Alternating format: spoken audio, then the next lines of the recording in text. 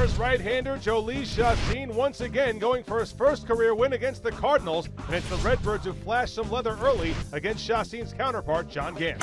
Line towards right field, moving back on it is O'Neill, still back, warning track, and he will jump and make the catch in front of the bullpen. Tyler O'Neill got a late break on it. That ball was taken off on him, too, but had the speed to close and the leaping ability to take an extra base hit away from Jesus Aguilar. 8 out of 12 with runners in scoring position for Moustakas as a member of the Brewers. The two strike pitch. Ground ball, right side, fair down the line.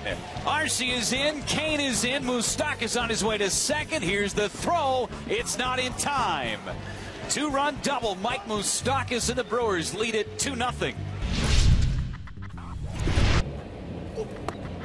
And the 1 2, and Chacin comes up with a big strikeout right there to end the fourth inning. Here's the 0 2. And he strikes him out. A big strikeout for Chacin. Big moment in the game right there. Here's the 2 2. Fly ball hit well, left field, and out of here. Wow, a big pinch hit home run for Patrick Wisdom. And suddenly it's a 2 to 1 ball game. Trims Milwaukee's lead down to one. And here's Carpenter. This hit well. Cain going back, and he's got it at the wall. Hit it about 389 feet. He needed 390. Nine saves for Josh Hader on the season. Looking for number 10. The 1 0 pitch to Gyorko.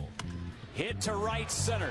Deep. Broxton on the warning track at the wall. Makes the catch with his back up against the fence. Josh Hader picks up the save, and the Brewers win it 2 1. With that, the Brewers move back in front of the Cardinals by a half a game in the NL wildcard chase. Jhoulys Chacin gets his first ever win over the Cardinals in nine career starts, and these two clubs have split their 16 meetings so far in 2018.